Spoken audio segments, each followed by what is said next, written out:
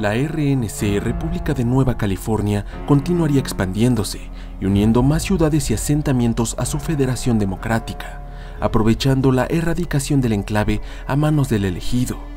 Ellos continuarían su guerra contra las bandas hostiles y los remanentes del enclave que sin otra opción escaparían en dirección al desierto del Mojave en Nevada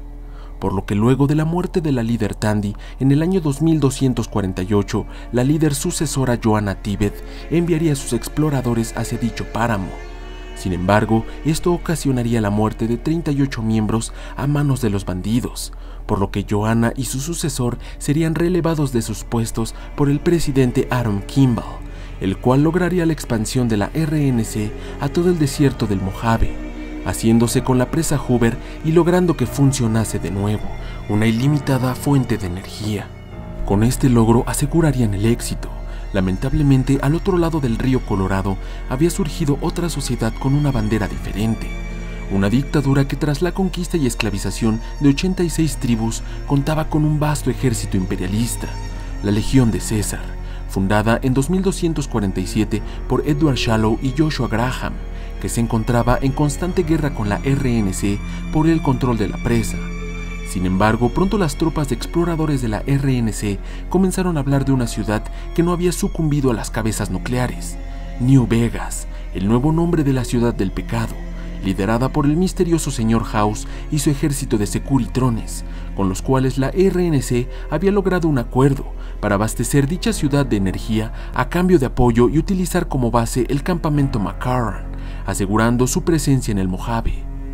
Tras años de conflicto, el Mojave Express, un servicio de mensajería que ejercía en todo el páramo, debía entregar un misterioso paquete en la ciudad del señor House, por lo que envían a su mensajero desde Prim, una ciudad al sur, hasta la puerta norte del strip de New Vegas.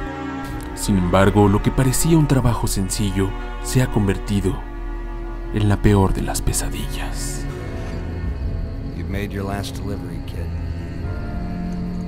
Sorry you got twisted up in this scene. From where you're kneeling must seem like an 18-carat run of bad luck. Truth is, the game was rigged from the start.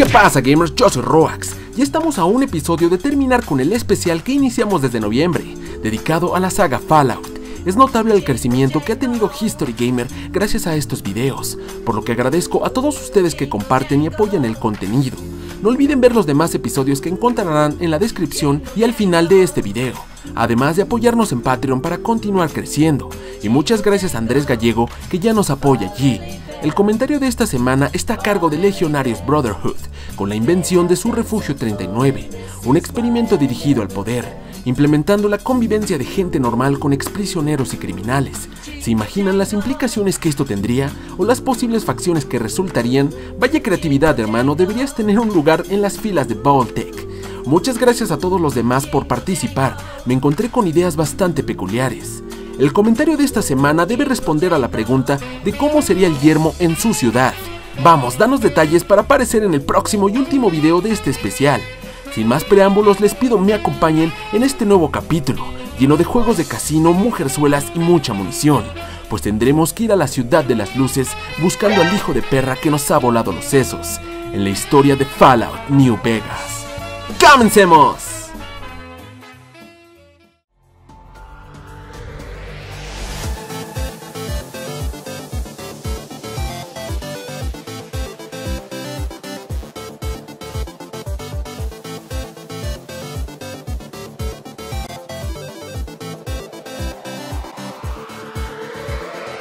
Bienvenidos a History Gamer, el épico canal que se pasará el maldito video buscando a Chandler What in the goddamn? con la ayuda de Machete. My name is Raúl Alfonso Tejada. Can I leave now? No, está bien pinche feo.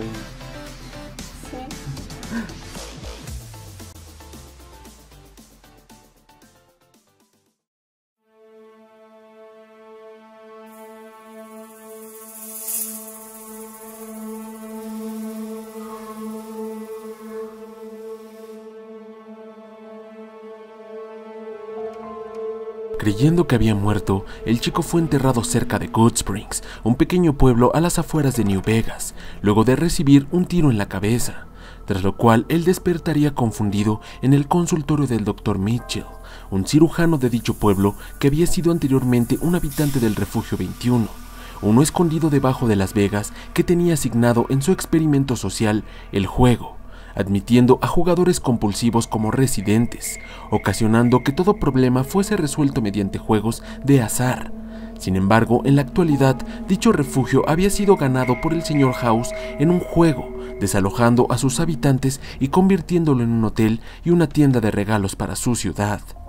Tras revisar su estado, el doctor le entrega al chico su mono del refugio 21 y un Pip-Boy 3000, ya que le serían de utilidad tras lo que había atravesado así que con el objetivo de averiguar quién trató de matarle y conocer cuál es la verdadera naturaleza del paquete que le habían quitado, el mensajero se adentra en el pueblo, conociendo a Víctor, el misterioso securitrón que lo había desenterrado de su tumba, salvándole el pellejo, además de presentarse con sonrisas, una cazadora de geckos y la guarda del pueblo, que le enseñaría a utilizar armas de fuego y fogatas para sobrevivir en el páramo. Con esto, el chico se dispondría a viajar a Prim, el gran asentamiento de donde había salido, tras hablar con la alcaldesa de Good Springs, Trudy, quien le había informado que los matones que le habían atacado se dirigían allí tras beber unos tragos en el bar. Aquí el mensajero regresaría a Mojave Express, donde puede reparar a un ojo bot de nombre Ede, los cuales eran robots de reconocimiento y combate. El negocio era administrado por Johnson Nash, al cual decide pedir la información del paquete que el chico debía entregar, por lo que se entera que Víctor el robot originalmente había encargado a Mojave Express la entrega de siete paquetes, y un séptimo que había sido rechazado por otro mensajero, por lo que había recaído en él con las mencionadas consecuencias. Con más dudas que respuestas, el chico consigue más información de sus atacantes, por lo que continúa por Nipton, una ciudad destruida y sitiada por las fuerzas de la Legión de César, y por Novak, donde conocería una facción religiosa de necrófagos conocida como la Hermandad del Iluminado, que terminaría despegando en un cohete creyendo que llegarían al paraíso. En su aventura, el mensajero puede encontrarse eventualmente con Jacobstown, un pequeño asentamiento que servía como refugio para una comunidad de supermutantes, donde el chico conocería a Marcus, el cual le cuenta de su aventura con el elegido y la eliminación del enclave en el año 2241.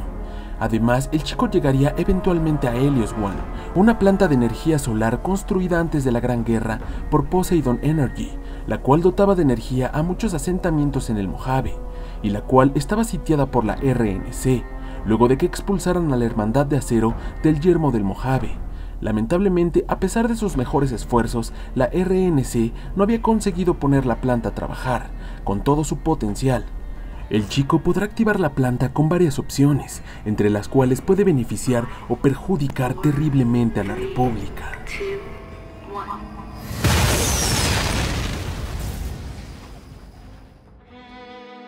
La Hermandad de Acero en esta parte del mapa estaba en declive luego de una guerra contra la RNC por el control de la presa Hoover y Helios One, que los había dejado con muchas bajas. Sin embargo, más adelante el mensajero conocería finalmente en Boulder City la identidad del hombre de cuadros que le había disparado, Benny, el líder de los Chairmen, una de las tres familias de New Vegas, pues cuando el señor House reconstruía la ciudad, envió securitrones de reconocimiento para comenzar a negociar con las tribus locales, ofreciendo sus extensas reservas de recursos a cambio de su ayuda. Algunas de las tribus rechazaron la oferta, pero tres de ellas sí se hicieron con el beneplácito del señor House, convirtiéndose en los Omerta, Chairman y la Sociedad del Guante Blanco, los cuales dirigen respectivamente los casinos Gomorra, Tops y Ultraluxe, cada una con una cultura propia de la época dorada de Las Vegas. Por lo que el chico se dirige a la gran ciudad rápidamente. Entrar al strip es una tarea muy difícil, sin embargo cuando lo logra el mensajero se encuentra con Víctor en la ciudad de las luces, el cual le menciona que el señor House, su amo, quería encontrarse con él en el Lucky 38, la estructura más prominente en el horizonte de New Vegas. Sin embargo, antes de aceptar su invitación, el chico puede acudir al casino Tops para encarar a su atacante, sin embargo, puede resolver las cosas de una forma pacífica, negociando con Benny y dejándole vivir, o mandar al diablo todo entrando a punta de pistola acabando con todos y reclamando la cabeza del maldito líder de los Chairman. En cualquiera de los casos, tras esto, el mensajero obtendría el misterioso paquete que le había sido arrebatado, la ficha de platino. Pero ¿qué diablo significaba esto? El mensajero finalmente tendría la respuesta a todas sus dudas luego de visitar al señor House en Lucky 38. Robert Edwin House había nacido el 25 de junio del año 2020, hace 265 años, conocido como un millonario muy inteligente que fundaría Robco Industries en su ciudad natal de Las Vegas a la edad de 22 años un genio técnico que gracias a su visión por los negocios terminó convirtiendo su patrimonio en una de las empresas más rentables y poderosas de Estados Unidos. Con sus recursos, el señor House diseñaba y ejecutaba simulaciones matemáticas, basadas en las condiciones políticas y socioeconómicas globales, a fin de predecir eventos futuros. Cuando finalmente se enteró de que una guerra nuclear estaba cerca y la amenaza que esto representaba para su amada ciudad de Las Vegas, programaría múltiples programas con enlaces por satélite, destinados a desactivar la gran mayoría de los misiles que se acercasen a su ciudad, e instaló en su torre una serie de cañones láser de alta potencia.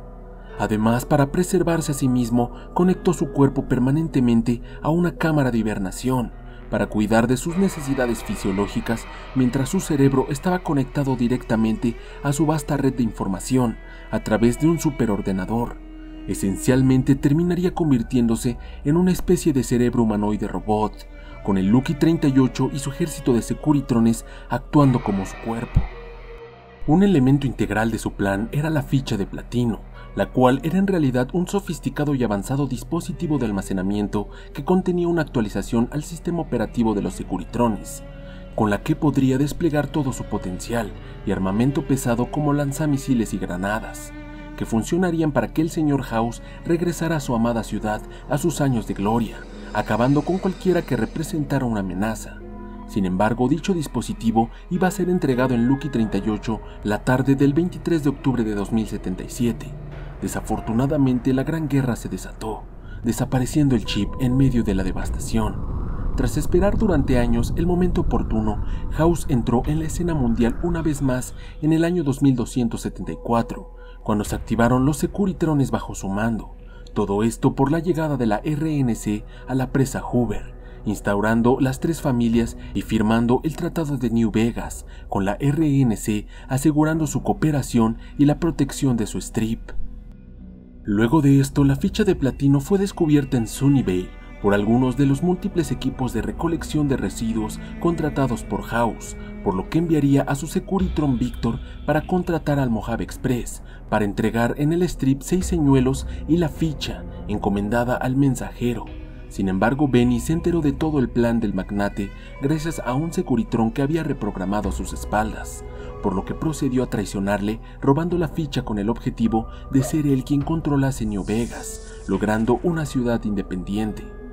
Antes de tomar una decisión y cuando el chico sale de la torre es interceptado por un soldado de la RNC, el cual le entrega una carta del embajador Dennis Crocker, el cual le pedía su apoyo para lograr que su República Democrática estableciera un control definitivo sobre el desierto del Mojave, bajo el estandarte de la RNC, ya que su diplomacia no había funcionado estos últimos años. Otro posible camino iniciaría cuando un miembro de la Legión se acerca en el strip de New Vegas al mensajero, dándole la marca de César e invitándole a acudir al frente de la Legión, donde Caesar, nacido como Edward Shallow, lo invita a participar en su conquista de Nevada.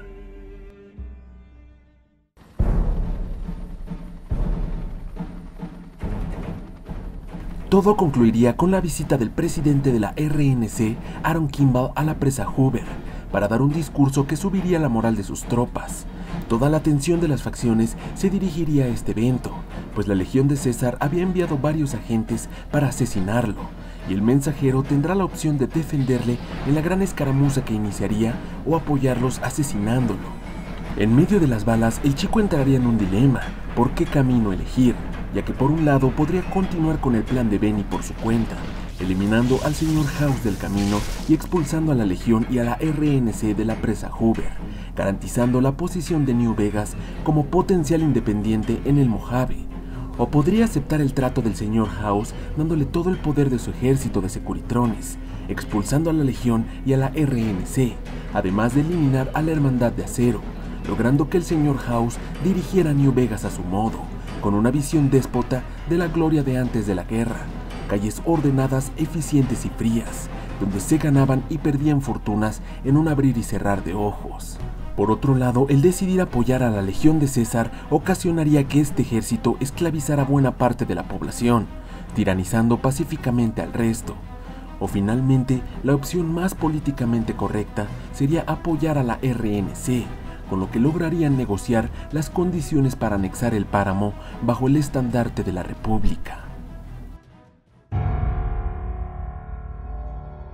Independientemente de cuál sea el camino que el mensajero tome y el gran cambio que esto represente en el mundo del desierto del Mojave logrando la aparente paz, se continuaría luchando, derramando sangre y muchos vivirían o morirían injustamente, al igual que en el viejo mundo,